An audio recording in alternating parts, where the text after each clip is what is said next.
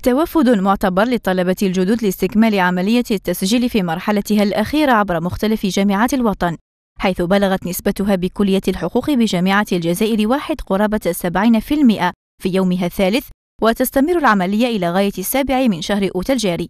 في حين فتحت جامعة الجزائر ثلاث أبوابها لاحتضان ما يقارب 8000 طالب جديد عبر مختلف كليتها. كما تلاحظون عملية التسجيلات النهائية للطلبة الجدد آه، متواصلة ليومها الثالث وقد وصلت نسبة التسجيلات إلى حوالي 60% وهي مستمرة إلى غاية سبعة من, من هذه الشهر. في هذه السنة جامعة الجزائر ثلاثة بالنسبة للسنة الأولى فقط أكثر من 8000 طالب. والحمد لله في هذه السنة جامعة الجزائر آه، آه، جامعة الجزائر ثلاثة آه، قضت على مشكلة الاكتظاظ ما فيش الاكتظاظ لأن هناك هياكل بيداغوجية جديدة حظيت بها الجامعة في هذه السنة. كلية الحقوق هذا العام كان عندنا العدد 1690 يعني بالتقريب حوالي 1700 طالب تقريبا نفس العدد لكلية الحقوق يعني كل سنة كانت تستوعبه اللي هو 1600 1700 طالب.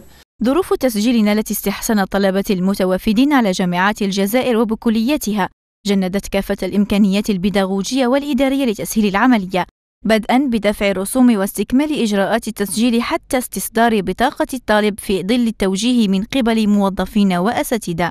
عندك l'original تاع ال bac photocopie تاعها تاع الغلوي شهادة ميلاد آه، استمارة يعمروها تاع الفوق l'enveloppe les photos يجوزوا منا la saisie يطلعوا يدوا la carte آه، la carte d'étudiant مع شهادة مدرسية.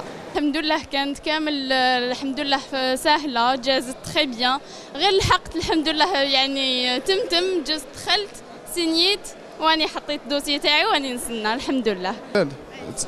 التسجيل كان سهل بزاف وسهلونا الأمور هذا ما قال. الحمد لله يا ربي ما كاش اكتظاظات قاموا بنا استقبلونا أحسن استقبال يعطيهم الصحة. الحمد لله لقينا راحتنا استقبلونا مليح.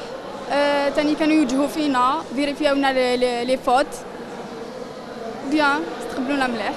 وحتى يتقرب الطالب أكثر من الجامعة فقد فتحت جامعتا الجزائر واحد وثلاثة أبوابها عبر كلياتها وأقسامها للتعرف على هياكلها البيداغوجية التي ستستقبل الطلبة الجدد بداية من شهر سبتمبر المقبل.